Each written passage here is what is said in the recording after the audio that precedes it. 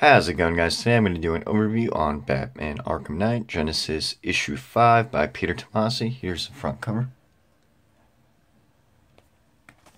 Back. Here we go.